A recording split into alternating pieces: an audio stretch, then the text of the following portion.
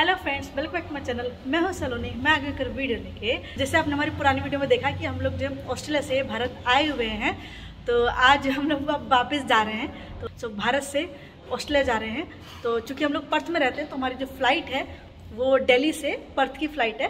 तो मैंने सोचा कि ठीक है क्योंकि मैंने अपनी पिछली वीडियो में आपको ऑस्ट्रेलिया से इंडिया के ट्रिप शेयर किया था तो मैंने सोचा कि ठीक है, अब भारत से ऑस्ट्रेलिया कैसे जाते हैं, वो भी मैं आपके साथ शेयर कर देती हूँ और क्या क्या स्टेप्स होते हैं, वो भी ट्राई करूँगी आपको एक्सप्लेन करने की। सो चलिए बने रही इस वीडियो के एंड तक और इस वीडियो को पूरा एंजॉय कीजिएगा। तो बैठ गए कार के अंदर, अब जा रहे हैं एयरपोर्ट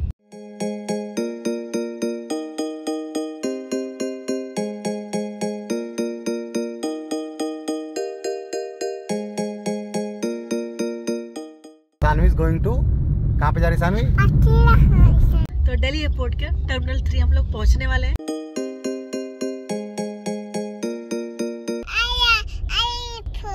आगे एयरपोर्ट।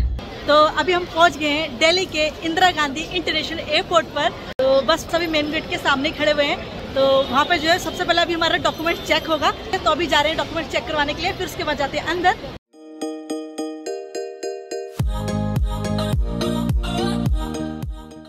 तो पहुँच गए हैं एयरपोर्ट के मेन गेट पर और लाइन में लग गए हैं। तो यहाँ पर आपका ट्रैवल डॉक्यूमेंट और आईडी चेक होगा।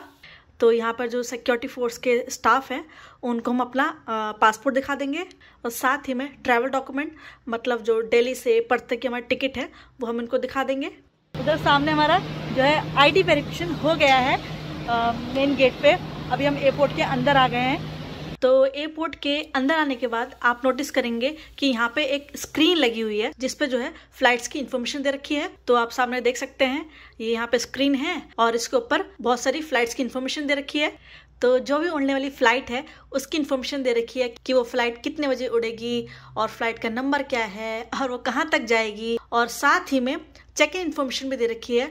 तो चेक इन इन्फॉर्मेशन में मतलब उसकी रो बता रखी है कि वो कौन सी रो में है। जैसे आप यहाँ पे देख सकते हैं एयरपोर्ट पर काफ़ी सारी रोज बनी हुई हैं। जैसे मेरे सामने अभी आप देख पा रहे हैं उस पर लिखा हुआ है जे के लिखा हुआ है और वो पीछे और देखेंगे तो एक और रो बनी हुई है जी एच है। तो ऐसे ही एयरपोर्ट पे काफ़ी सारी रोज बनी हुई है। तो काफ़ी हेल्प करता है ये स्पेशली जो फ़र्स्ट टाइम ट्रेवल कर रहे हैं।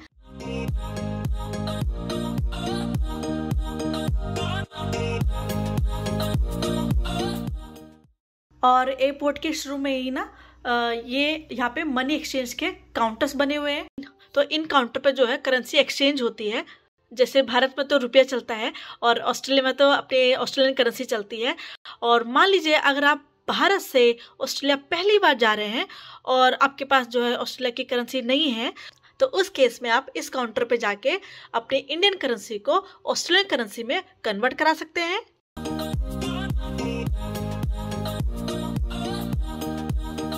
तो हमारा जो चेक इन रो है, वो एल काउंटर पे होगी। तो अभी हम एल के सामने खड़े हैं, पीछे आप देख सकते हैं। वहाँ पे वो एल लिखा हुआ है। तो हम अभी यहाँ पे लाइन में लग गए हैं। अब जाते हैं चेकिंग करवाते हैं। तो अब चेक इन करके अपना बैगेज वगैरह ड्रॉप करते हैं। तो यहाँ पे एल रो के नीचे आप देख सकते हैं, काफ़ी सारे चेक इन काउंटर्स बने हुए हैं। तो यहाँ पे चेक इन काउंटर पे जाके आप अपना चेक इन कर सकते हैं। तो यहाँ पे आपको बस अपना पासपोर्ट दिखाना है। तो जो एयरलाइन स्टाफ है, वो आपका पासपोर्ट नंबर देख के उसके अगेंस्ट जो भी टिकट है, उसको चेक कर लेंगे, उसको वेरीफाई कर लेंगे और फिर उसके बाद वो आपको बोर्डिंग पास इश्यू कर देंगे। और जो भी आपका बैगेज है मतलब जो भी आपका सामान है ब्रीफ केस वगैरह, वो सब यहाँ पे जमा हो जाएगा और सीधे आपको मिलेगा पर्थ में जाके। वैसे तो जो हमारी फ़्लाइट है दिल्ली से पर्थ की, वो वाया सिंगापुर है। तो पहले फ़्लाइट हमारी जो है दिल्ली से सिंगापुर जाएगी फिर दूसरी फ़्लाइट जो है सिंगापुर से पर्थ के लिए जाएगी। बट जो हमारा सामान है, वो यहीं पे जमा हो जाएगा दिल्ली में और सीधे हमको मिलेगा पर्थ में जाके। और जैसे कि आप सामने देख ही रहे हैं कि जो एयरलाइन स्टाफ है, वो हमको बोर्डिंग पास इशू कर रहे हैं और साथ ही में उसमें जो हाईलाइट कर रहे हैं मतलब आपका गेट नंबर कौन सा है, आपका जो सीट नंबर कौन सा है, वो सब हमको एक बार कंफर्म करा रहे हैं। और बाकी जैसे मैंने अभी बताया ना कि हमारी जो फ़्लाइट है, वो दिल्ली से पहले सिंगापुर जाएगी और उसके बाद सिंगापुर से पर्थ के लिए जाएगी। तो अगर आप दो फ़्लाइट में बैठने वाले हैं तो आपको जो है दो बोर्डिंग पास इशू होंगे। तो यहाँ पर जो है एयरलाइन स्टाफ हमको दो बोर्डिंग पास इशू करते हैं। तो उन बोर्डिंग पास पर लिखा होता है कि एक बोर्डिंग पास जो है दिल्ली से सिंगापुर के लिए यूज़ होगा और जो दूसरा बोर्डिंग पास है, वो सिंगापुर से पर्थ के लिए यूज़ होगा। तो इस तरह दो बोर्डिंग पास मिल जाते हैं। और दोनों ही बोर्डिंग पास को आपको जो है संभाल के रखना है। दोनों ही बहुत इंपॉर्टेंट है। उसके बिना जो है आपको फ़्लाइट में नहीं बैठने देंगे। तो उसका ध्यान रखिएगा। तो फाइनली हमारा जो है चेक इन प्रोसेस भी हो गया है। और जो हमारा बैगेज था ब्रीफ केस वगैरह, वो सब हमने उनको हैंड ओवर कर दिया है। और इसके अलावा जो छोटा मोटा सामान है अपना जो हम लोग अपने साथ कैरी करने वाले हैं फ़्लाइट में ना पर्स हो गया या लैपटॉप बैग हो गया या फिर मतलब जो भी सामान हम अपने साथ कैरी ऑन करने वाले हैं फ़्लाइट में तो वो सब हम अब उसको लेके चल रहे हैं अपने साथ।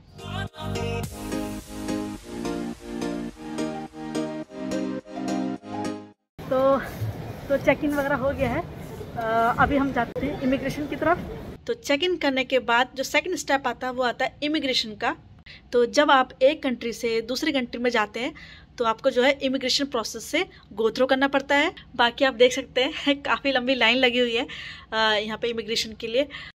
तो हम लोग ना नॉर्मल लाइन में ही लगने के लिए जा रहे थे कि जो लंबी लाइन है कि चलो लग जाते हैं हम भी, जब नंबर आएगा देखा जाएगा। बट बीच में हमको एक सिक्योरिटी गार्ड ने रोक लिया और उन्होंने देखा कि हमारे पास बच्चा है तो उन्होंने बोला कि आप जो है दूसरे काउंटर पर जाइए। तो यहाँ पे ना एक अलग से काउंटर बना रखा है इन्फेंट इन आर्म्स अभी हम लोग जो है उस काउंटर पर जा रहे हैं। तो जिनके पास छोटा बच्चा रहता है तो वो जो है उस काउंटर पर जाके अपना इमिग्रेशन करा सकते हैं। तो वहाँ पे जो है कंपैरिजन अगर देखेंगे तो लाइन थोड़ी छोटी होती है तो ये देख के काफ़ी खुशी मिली आज तो। नहीं तो बच्चों के साथ जो है लंबी लाइन में कई बार परेशानी हो जाती है। तो ये सामने है इमिग्रेशन काउंटर तो यहाँ पे जो इमिग्रेशन ऑफिसर हैं, वो हमारे सारे ट्रैवल डॉक्यूमेंट्स चेक करेंगे। तो ट्रैवल डॉक्यूमेंट्स में आता है हमारा पासपोर्ट बोर्डिंग पास मतलब जो टिकट है आपका। और तीसरा है वैलिड वीज़ा मतलब वीज़ा वैलिड है या नहीं है? तो जब तीनों चीज़ पूरे अच्छे से चेक हो जाती है वेरीफाई कर लेते हैं, उसके बाद इमिग्रेशन ऑफिसर हैं, वो बोर्डिंग पास पर और साथ ही में पासपोर्ट पर दोनों पर एक स्टैंप लगा देते हैं। उस स्टैंप को हम बोलते हैं डिपार्टेड स्टैंप तो लाल रंग की स्टैंप होती है, वो जो है हमारे पासपोर्ट और बोर्डिंग पास पे लग जाती है। सारे डॉक्यूमेंट्स वेरीफाई होने पर तो हमारा जो इमिग्रेशन क्लियर हो गया है। अब जा रहा हम सिक्योरिटी चेक करेंगे तो अभी हमारा जो है इमिग्रेशन हो गया है। अभी आगे हम जाते हैं सिक्योरिटी चेक के लिए। तो वहाँ पर भी जो है हमारा जो सामान है आ, मतलब कैरी ऑन सामान मतलब लैपटॉप वगैरह मोबाइल वगैरह और बैग्स भी छोटे मोटे जो बैग्स हैं वो सब यहाँ पे चेक होंगे सारे स्कैन होंगे और साथ ही में हमारा भी सिक्योरिटी चेक करेंगे। तो यहाँ पे भी जब आपका प्रॉपर अच्छे से सारा सामान स्कैन हो जाता है, और जब हमारा खुद का सिक्योरिटी चेक हो जाता है तो वो बोर्डिंग पास पर एक स्टैंप मार देते हैं। तो वो सिक्योरिटी चेक की स्टैंप होती है। तो इस तरह से हमारे बोर्डिंग पास पर दो स्टैंप लग जाती हैं और पासपोर्ट पर एक स्टैंप लग जाती है। और वहीं मैं अगर अपने पर्थ की बात करूँ मतलब पर्थ एयरपोर्ट की बात करूँ तो वहाँ पर जो है सिर्फ़ पासपोर्ट पर स्टैंप लगती है जब आप इंटरनेशनल ट्रैवल करते हैं। बोर्डिंग पास पर कोई स्टैंप नहीं लगती है। तो ये एक अंतर है जो मैंने पाया है।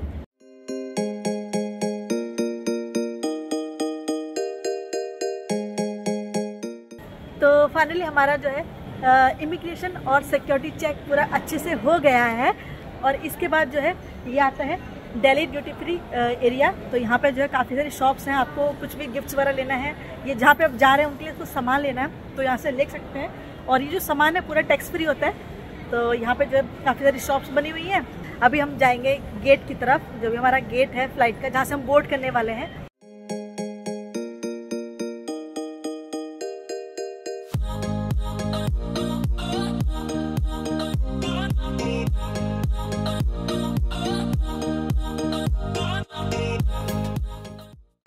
तो अभी हम लोग पहुँच गए हैं अपने गेट के पास, और यहाँ पे जो है ये ड्यूटी फ्री शॉप्स जो है यहाँ पे ख़त्म हो जाती हैं। और इसके बाद यहाँ पे लाइन से जो है काफ़ी सारे गेट्स बने हुए हैं। तो गेट्स मतलब जहाँ से आप फ़्लाइट में बोर्ड करते हैं। तो जैसे आप देख ही रहे हैं कि बोर्डिंग यहाँ पे आगे शुरू हो गई है हमारे गेट नंबर पे। तो जो पैसेंजर्स हैं वो लाइन में लगे हुए हैं। और एक एक करके जो है, जो यहाँ के एयरलाइन के स्टाफ हैं, वो सबके डॉक्यूमेंट्स चेक कर रहे हैं। तो यहाँ पर पासपोर्ट और बोर्डिंग पास चेक होता है। तो जब आपका पासपोर्ट और बोर्डिंग पास चेक हो जाता है तो फिर आप जो है अंदर जा सकते हैं और फ़्लाइट में बोर्ड कर सकते हैं।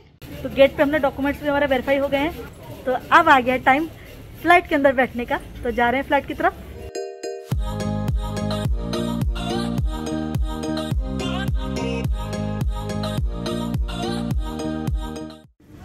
चलो चलो चलो। चलो चलो चलो। आराम से बेटा रुको रुको मामा पिलो हटा देगी। ये पिलो है ये ब्लैंकेट है आपका।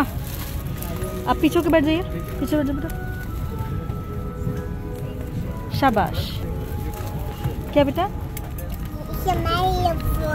This is your earphone okay my TV. या दिस इज़ योर टीवी तो फ़्लाइट के अंदर बैठ गए हैं अपनी अपनी सीट पर। सामने जो सारे बटन दबा दबा के देख रही है।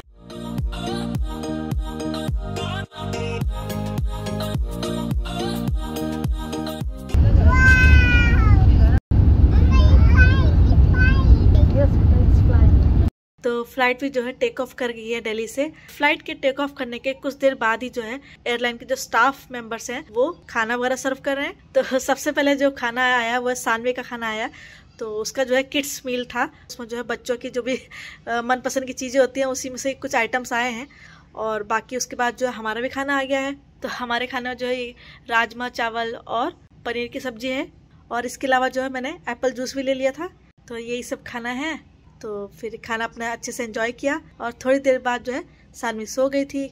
तो जैसे कि मैंने बताया कि हमारी जो फ़्लाइट है वो अभी दिल्ली से सिंगापुर जा रही है तो दिल्ली से सिंगापुर का जो ट्रैवल है, लगभग पौने छः घंटे का ट्रैवल है। और आगे आप मैप में देख ही सकते हैं कि जो फ़्लाइट हमारी सिंगापुर पहुँचने वाली है ऑलमोस्ट और वहाँ पे जो भी सिंगापुर का जो टाइम है वो दिखा रहा है पाँच बज के तिरपन मिनट सुबह के।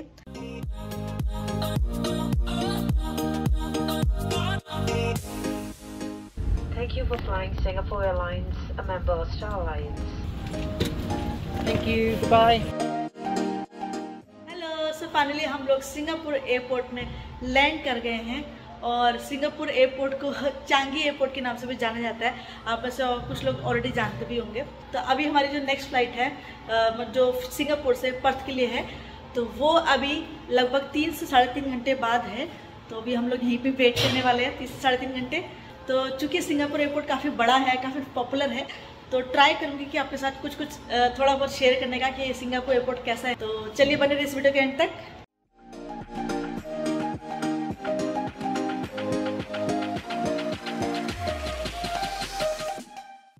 तो ये है सिंगापुर का एयरपोर्ट। तो आप देख ही सकते हैं कि यहाँ पर जगह जगह पर काफ़ी सारे साइन बोर्ड्स लगे हुए हैं इंफॉर्मेशन के लिए। और यहाँ पे आप देख सकते हैं काफ़ी बड़ी स्क्रीन लगी हुई है तो इस पर जो है फ़्लाइट कनेक्शन की इंफॉर्मेशन डिस्प्ले हो रही है। मतलब आपकी जो दूसरी फ़्लाइट है, वो कौन से गेट पे है, वो आप इस स्क्रीन पे देख सकते हैं। जैसे हमारी जो नेक्स्ट फ़्लाइट है, वो पर्थ की है तो अभी आप सामने देख सकते हैं, पर्थ लिखा हुआ है, और ये 9:45 की फ़्लाइट है सुबह के, और अगर आगे मैं थोड़ा देखूँ तो जो गेट नंबर है, वो ए थ्री लिखा है तो हमारी जो नेक्स्ट फ़्लाइट है, वो गेट नंबर ए थ्री से है। तो जो हमारी फ़्लाइट है, वो चांगी एयरपोर्ट टर्मिनल थ्री पे लैंड हुई है। तो अभी हम यहाँ से ही आए थे। और जैसे मैंने बताया कि हमारी जो नेक्स्ट फ़्लाइट है ना, वो ए थ्री गेट से है। तो वो भी आप देख सकते हैं, यहाँ पे लिखा हुआ है A one A two A three A four तो पास में ही ए थ्री भी। ज़्यादा नहीं चलना पड़ेगा। तो जैसे मैंने बताया कि अभी टाइम है दूसरी फ़्लाइट में तो अभी हम जा रहे हैं लॉन्च की तरफ़। कुछ नाश्ता पानी कर लेते हैं।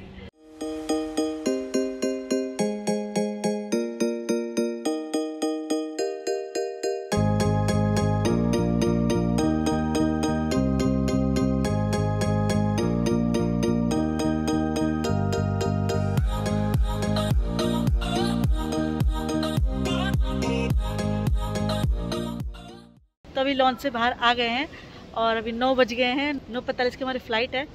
तो अभी जाते हैं गेट पर।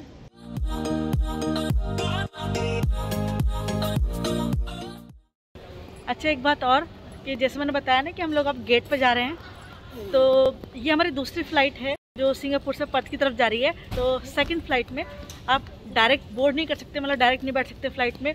उससे पहले एक बार और सिक्योरिटी चेक होता है तो वो भी आपको क्लियर करना पड़ता है। तो अभी हम लोग जा रहे हैं गेट पर बट वहीं पर एक सिक्योरिटी चेक होगा, उसके बाद हम फ़्लाइट में बैठ पाएँगे। तो सिक्योरिटी चेक में थोड़ा टाइम लगता है तो अगर आपके दो फ़्लाइट के बीच में टाइम कम है तो आपको उसको अच्छे से मैनेज करना पड़ेगा, नहीं तो आप लेट हो जाएँगे। पीछे आप देख सकते हैं सिक्योरिटी चेक हो रहा है तो हमारा सिक्योरिटी चेक भी हो गया है सिंगापुर एयरपोर्ट पर। बस, अब जो है गेट पे ही आ गए इधर देखिए। तो यहाँ पर काफ़ी सारे गेट्स बने हुए A one A two A three A four तो चूँकि हमारा गेट नंबर ए थ्री है तो अभी हम लोग अपने गेट पर जा रहे हैं ए थ्री पर। तो जैसे कि मैंने वीडियो के शुरू में बताया था कि आपको दो बोर्डिंग पास मिलते हैं, एक पहली फ़्लाइट के लिए और एक दूसरी फ़्लाइट के लिए। तो यहाँ पर आपको दूसरा जो बोर्डिंग पास मिला है मतलब सिंगापुर से पर्थ का, वो बोर्डिंग पास आपको यहाँ पे दिखाना है और साथ ही में पासपोर्ट भी दिखाना है। तो बस डॉक्यूमेंट वगैरह चेक होने के बाद हम लोग फ़्लाइट में बैठ गए।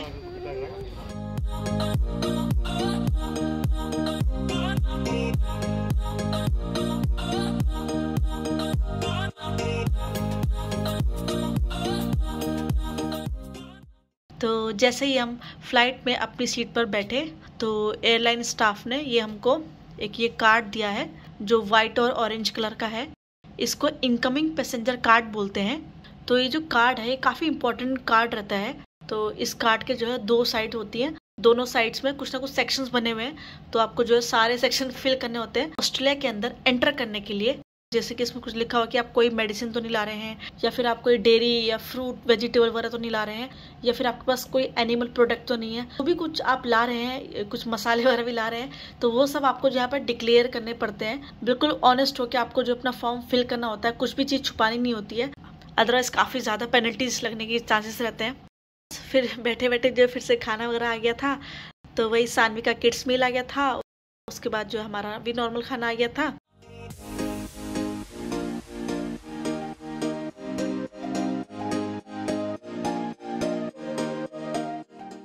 जो हमारी दूसरी फ़्लाइट है सिंगापुर से पर्थ की तो इसका जो ट्रैवल टाइम है वो लगभग पाँच घंटे, दस मिनट बताया है। तो देखते ही देखते जो है पर्थ भी आने ही वाला है।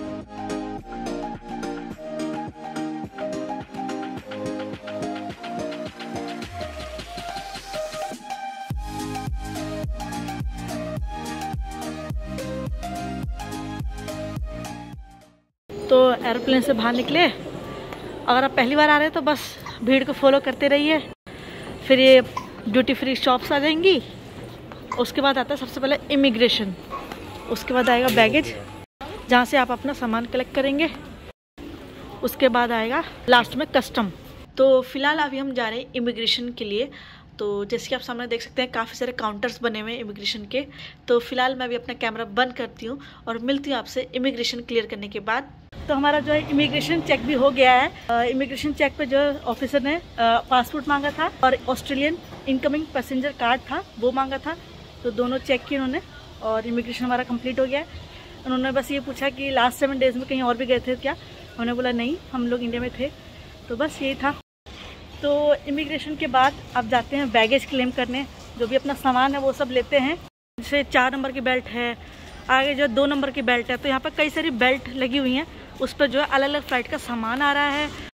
तो बेल्ट नंबर थ्री पे लिखा हुआ है सिंगापुर और हमारी फ़्लाइट का नंबर तो यहाँ पे हमारा सामान आएगा। तो सामान ले लिया है, अब जाते हैं कस्टम की तरफ़। तो ये सामने जो है पूरा कस्टम एरिया है। इसमें आप देख सकते हैं लाइन बनी हुई है पैसेंजर्स की, अपने कस्टम क्लियर करने के लिए। तो यहाँ पर जो अपने हाथ में आपको रखना पड़ता है वो है पासपोर्ट और साथ ही में इनकमिंग पैसेंजर कार्ड जो मतलब ऑरेंज जो व्हाइट कलर का होता है, जो मैंने आपको फ़्लाइट में दिखाया था। तो फ़िलहाल अभी मैं आपको मिलती हूँ कस्टम क्लियर करने के बाद। तो हम लोग फाइनली इस अरावल गेट से बाहर आ गए हैं और हमारा जो कस्टम भी क्लियर हो गया है। तो कस्टम में क्या किया इन्होंने कि जो भी मैंने आपको एक इनकमिंग पैसेंजर कार्ड दिखाया था ना ऑरेंज कलर का जो कार्ड था तो उस पर हमने डिक्लेयर किया था कि हम क्या क्या सामान लाए हैं मतलब क्या क्या दवाई लाए हैं क्या क्या स्पाइसेस लाए हैं अपने इंडियन मसाले जो भी ला रहे हैं, वो सब हम उस पर मैंशन कर देते हैं मतलब फ़्लाइट में कार्ड पूरा फिल कर देते हैं। तो कस्टमर क्या करते हैं कि जो जो हमने मैंशन किया ना, उसको बस इंस्पेक्ट करते हैं, उसको पूरा चेक करते हैं कि उसमें जो है कोई बीज वगैरह तो नहीं है और सब पैक्ड चीज़ें हैं कि नहीं, वो सब चेक करते हैं। तो वही सब रहता है। कस्टम जब प्रोसेस होती है, मुझे काफ़ी क्रिटिकल लगती है। इसमें जो आप सामान लाते हैं, सारा चेक होता है ना। तो उसमें मैं आपको एक टिप देना चाहूँगी कि जो भी आपका सामान है खाने पीने का सामान है, या जो भी आपने ऑरेंज कार्ड में मेंशन किया हुआ है, वो सारा सामान एक ही बैग में रखिएगा। इंस्टेड ऑफ़ चार पाँच बैगों में आपने अलग अलग रख रखा है। अदरवाइज़ अगर आपने सारा सामान अलग अलग बैगों में रखा है तो कस्टम के टाइम पे आपके सारे बैग खोलने पड़ेंगे। उसमें जो बहुत ज़्यादा टाइम लग जाता है और पैकिंग भी फिर से करनी पड़ती है। तो ये जो टिप है जो, हम कुछ सालों से अपना रहे हैं और काफ़ी हेल्प करता है। तो एक ही बैग में रखने से क्या होता है, सिर्फ़ एक ही बैग ओपन करना पड़ता है, वही चेक करते हैं और उसके बाद जो है प्रोसेस भी बहुत जल्दी हो जाता है। तो ये मैंने सोचा कि आपके साथ शेयर कर दूँ। तो अभी हमारा कस्टम क्लियर हो गया है। फाइनली अब हम अपने घर जा रहे हैं। तो चलिए मैं अपनी इस इंडिया से ऑस्ट्रेलिया के सफ़र की वीडियो को यही एंड करती हूँ। आई होप आपको वीडियो पसंद आई होगी। यदि पसंद आए तो इस वीडियो को लाइक कीजिएगा और कमेंट करके बताइए कि आपकी वीडियो कैसी लगी। यदि आप मेरे चैनल पर नए हैं तो प्लीज़ मेरे चैनल को सब्सक्राइब करना ना भूलें। मिलते हैं आपसे नेक्स्ट वीडियो में। तब तक ले बाय